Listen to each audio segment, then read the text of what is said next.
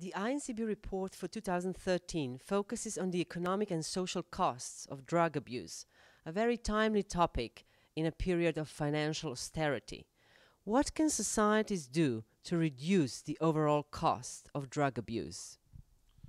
Okay, well, in our report, we tried to highlight how the consequences of drug abuse can disproportionately affect spe specific populations women, low income populations, children, and so on. The right of children to be protected from drug abuse is enshrined in the Convention of the Rights of the Child. Society's most precious and most vulnerable resource set must be protected from drug abuse and its consequences.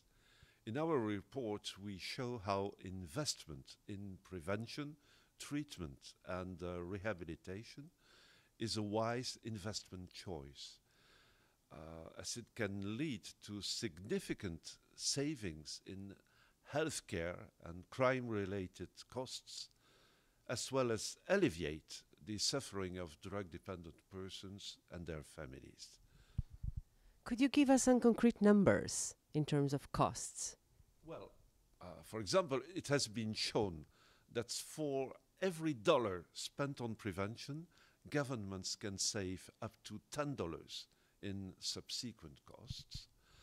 Uh, however, it is estimated that for every six problem drug users worldwide, only one receives the treatment they need. There are also significant regional disparities. In Africa, uh, only one in 18 drug users receives treatment. In Latin America, the Caribbean and Eastern and Southeastern Europe, for example, the ratio is 1 in 11. In Northern America, 1 in 3.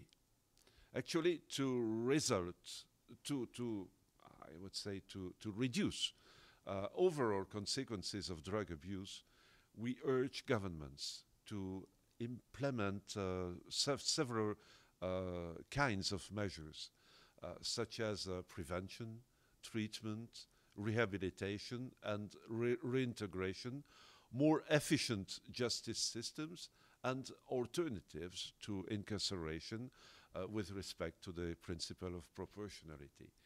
We note also that uh, weakened governance and drug trafficking and drug-related trafficking uh, can form a, a, vicious circle, and we recommend uh, several types of measures aimed at uh, strengthening governance.